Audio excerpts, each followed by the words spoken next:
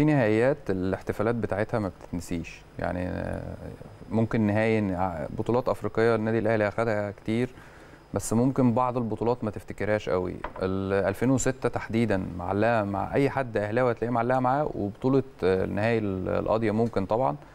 يمكن آه، كنت أنا في اليوم ده كنت نازل بالعلم وكان عندي يقين يعني إن إيه إن النادي الأهلي هي- هيكسب إن شاء الله. وعلى فكرة إحنا يعني في الماتش كان سجال.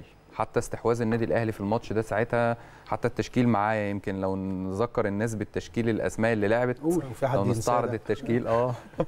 معانا عاملينه إحنا جرافيك كمان. محمد الشناوي في حراسة المرمى كان آه، لعبنا بال 4 2 3 1 الاثنين المساكين كانوا ياسر إبراهيم وكان أيمن أشرف. أيمن أشرف. ال back right كان محمد هاني وال back left علي معلول. الاثنين الارتكاز حمدي فتحي وعمرو السولية. والصانع الألعاب كان قفشة اليمين كان حسين الجناح اليمين حسين الشحات والجناح الشمال جونيور أجاييه وكان قدام مروان محسن. يمكن كانت المباراة يعني كان الاستحواذ متقارب كان ال- الماتش بيروح ويجي يروح ويجي وفرصة زيزو اللي جت في ال- في القايم ديت آه. فالماتش كان رايح ويجي وبعد كده وحسين- جه في حسين في القايم برضه وحسين آه خالص. البودلة كمان مين اللي نزل عشان ياخدوا حقهم في الماتش ده؟ البطولة هجيبها دلوقتي بس كلنا آه؟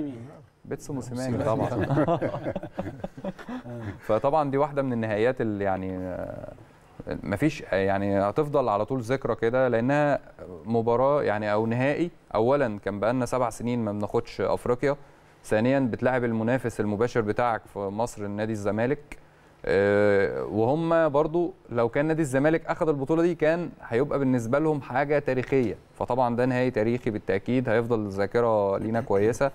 بعد.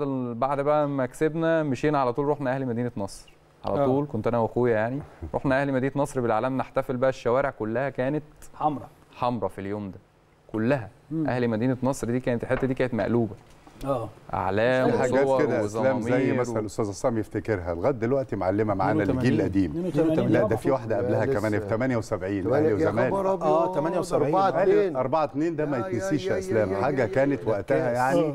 كاس كاس آه. مصر. الجون التاريخي بتاع الكابتن الخطيب لما نزل